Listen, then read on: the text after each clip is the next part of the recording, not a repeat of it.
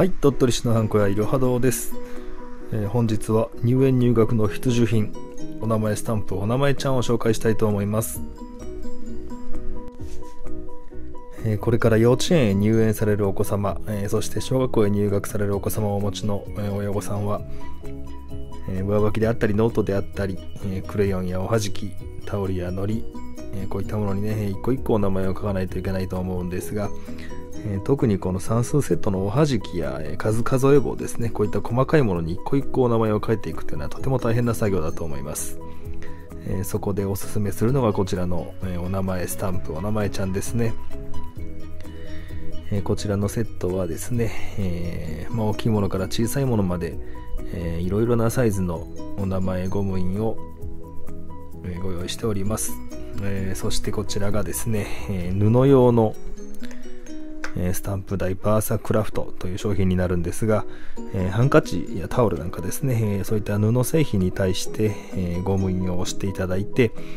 え乾いた後アイロンをかけますと洗濯をしても、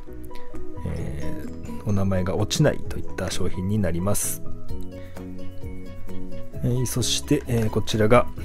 えどこでもスタンプですね、えプラスチック製品であったり金属製品えおはじきであったりハサミなんかですね。滑りやすいツルツルしたものにゴム印を押すためのスタンプです。はい、えー、そして最後がこちらのスタンプスケール、えー、スタンプ用の定規ですね、えー、こちらをゴム印を押したい部分に置いていただいて、えこちらに沿って場所を決めていただいて押していただくと綺麗に押せるというそういった商品になります。はい、えー、これらすべてをセットにしたフルセット18本セットですね。えー、こちらのセットが7875円、えー、スタンダード12本セットというのが、えー、5250円。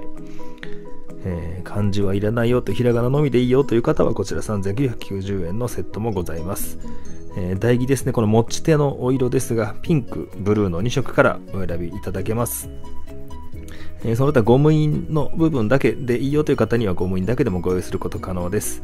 え鳥取市で入園入学の必需品、お名前スタンプお探しでしたらぜひ、えいろは堂にお問い合わせください。よろしくお願いいたします。